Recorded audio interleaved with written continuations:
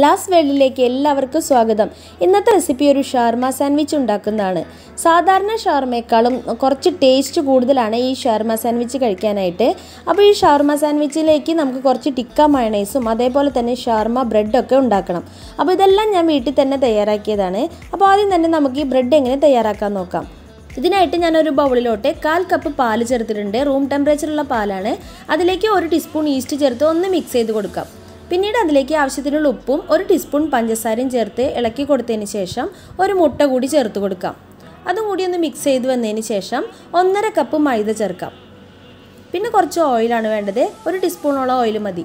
അതും കൂടി ചേർത്തിട്ട് നന്നായിട്ട് മിക്സ് ചെയ്തെടുത്തിട്ട് അതൊന്ന് കുഴച്ചെടുക്കാം. ഇതൊരു നാലഞ്ച് മിനിറ്റോളം നമുക്ക് കുഴച്ചെടുക്കേണ്ടതുണ്ട്. അപ്പോൾ ഞാനിത് പാത്രത്തിൽ നിന്ന് മാറ്റിയെടുത്തിട്ട് കൗണ്ടർ ടോപ്പിലിട്ട് നന്നായി കുഴച്ച് സോഫ്റ്റ് ആക്കി എടുത്തിട്ടുണ്ട്. എന്നിട്ട് നമുക്കിത് ഒരു പാത്രത്തിലേക്ക് ഇട്ട് കൊടുത്തിട്ട് ഒരു അരമണിക്കൂർ ഇത് അടച്ചു വയ്ക്കാം ആ സമയം കൊണ്ട് ഇത് കറക്റ്റായിട്ട് വരും. അപ്പോൾ നമുക്ക് ഇതിലേക്കുള്ള നീ ചിക്കൻ ഫ്രൈ ചെയ്തെടുക്കണം. അപ്പോൾ ഞാൻ ബോൺലെസ് ചിക്കൻ കുറച്ച് എടുത്തിട്ടുണ്ട്. അതിലേക്ക് കുറച്ച് തൈര് ചേർക്കുന്നുണ്ട്. ഒരു അര ടീസ്പൂണോളം തൈര് പിന്നെ മഞ്ഞൾപ്പൊടി പിന്നെ അതുപോലെ തന്നെ കുറച്ച് മല്ലിപ്പൊടി ചേർക്കണം. കുറച്ച് ജീരകത്തിന്റെ പൊടി ചേർക്കണം. മുളക് പൊടി കാശ്മീരി മുളക് പൊടിയാണ് ഞാൻ ചേർത്തിട്ടുള്ളത്. പിന്നെ ഉപ്പ്. ഇതെല്ലാം കൂടി നന്നായിട്ട് മിക്സ് ചെയ്ത് വെക്കുക. കുറച്ച് ചെറുനാരങ്ങയുടെ നീരും കൂടി ചേർത്ത് കൊടുക്കണം കേട്ടോ. എന്നിട്ട് അതെല്ലാം കൂടിയിട്ട് മിക്സ് ചെയ്തിട്ട് അതും റെസ്റ്റ് ചെയ്യാൻ വെക്കാം ആ റെസ്റ്റ് ചെയ്യാൻ വെക്കുന്ന സമയം ഒരു അരമണിക്കൂർ ഇത് ഇതേപോലെ തന്നെ ഒരു അരമണിക്കൂർ വേണ്ടി വരും. അരമണിക്കൂറിന് ശേഷം നമ്മുടെ ഡോ ഒക്കെ ഇവിടെ റെഡി ആയി വന്നിട്ടുണ്ട്. അപ്പോൾ നമ്മൾ പതുക്കെ അതൊന്ന് എടുത്തിട്ട് വീണ്ടും ഒന്ന് കുഴച്ചെടുക്കുകയാണ് അത് കുഴച്ച് ഒന്ന് വട്ടത്തിലാക്കി എടുത്തിട്ട് നാല് പീസാക്കിയിട്ട് കട്ട് ചെയ്തെടുക്കാം. എന്നിട്ട് അത് ഓരോ ബോൾസ് ആക്കി എടുക്കണം. ഇത് ഞാൻ മുന്നേ തന്നെ ട്വിസ്റ്റഡ് ഡോണട്ട് ഉണ്ടാക്കുന്നതിൽ കാണിച്ചിട്ടുണ്ട്. ഉള്ളിലേക്ക് കൊടുത്തിട്ട് ബോൾസ് ആക്കി എടുക്കണം. ഇതാ കണ്ട? അതെ ഇതേപോലെ. അധികം പ്രസ് ചെയ്യരുത്.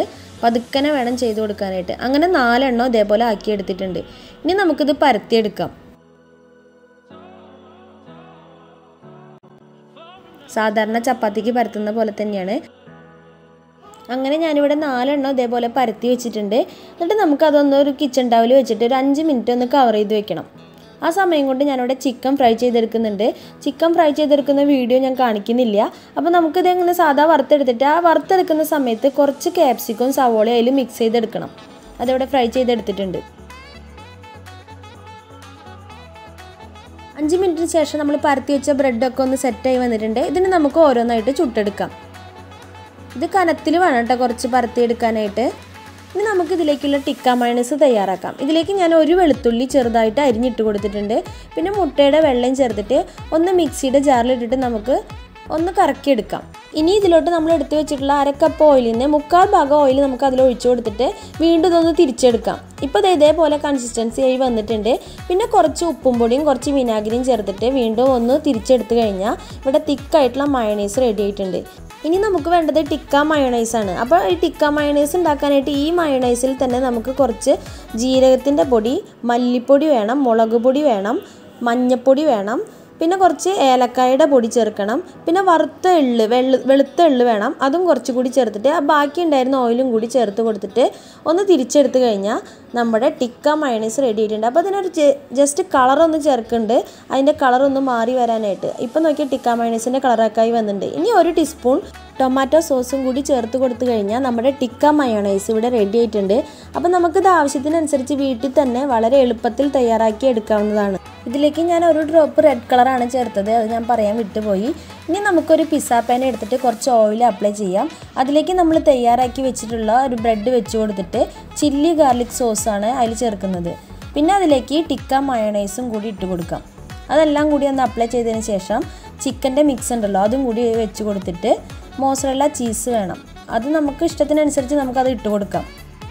അതെല്ലാം ഇട്ട് കൊടുത്തതിന് ശേഷം ഈ വീണ്ടും ഒരു ബ്രെഡ് എടുത്തിട്ട് അതിന്റെ മുകളിലേക്ക് ഒന്ന് വെച്ച് ഒന്ന് പ്രസ് ചെയ്ത് കൊടുക്കുക. ഒന്ന് പ്രസ് ചെയ്ത് കൊടുക്കുക. എന്നിട്ട് അതിന്റെ മുകളിലേക്ക് വീണ്ടും ഈ മയണൈസ് തന്നെ വീണ്ടും ചേർക്കുക. അത് നമ്മുടെ ടേസ്റ്റിനനുസരിച്ച് നമുക്ക് ഇഷ്ടത്തിനനുസരിച്ച് ഇട്ട് കൊടുക്കാം. പിന്നെ കുറച്ച് മോസറല്ല ചീസും അതേപോലെ തന്നെ ചില്ലി ഫ്ലേക്സും കൂടി ഇട്ട് കൊടുക്കാം. ഇത് തയ്യാറാക്കുന്നതിലും കുറച്ച് മുന്നേ തന്നെ ഇത് ബേക്ക് ചെയ്ത് വെക്കാനുള്ള ഒരു പാത്രം നമ്മൾ പ്രീഹീറ്റ് ചെയ്യാൻ വെക്കണം. അപ്പോൾ ഞാനിവിടെ ഒരു പഴയ പാത്രം പ്രീഹീറ്റ് ചെയ്യാൻ വെച്ചിട്ടുണ്ട്. ഇതാ നമ്മുടെ ഓവൻ സെറ്റപ്പ് ഒക്കെ റെഡി ആയിട്ടുണ്ട്. ഇനി ഈ ട്രേ നമുക്കതിലേക്ക് വെച്ച് കൊടുക്കാം. എന്നിട്ട് അടച്ച് വെച്ചിട്ട് ഒരു പത്ത് മിനിറ്റ് ആ പത്ത് മിനിറ്റിനുള്ളിൽ നമ്മുടെ ഈ ചീസൊക്കെ നന്നായിട്ട് മെൽറ്റായി വന്നിട്ടുണ്ട്. ഇതേപോലെ എനിക്ക് രണ്ടെണ്ണമാണ് തയ്യാറാക്കി എടുക്കാൻ പറ്റിയിട്ടുള്ളത്. ആ ഡോ വെച്ചിട്ട് ഇതേപോലത്തെ രണ്ടെണ്ണം ഞാനങ്ങനെ തയ്യാറാക്കി എടുത്തിട്ടുണ്ട്.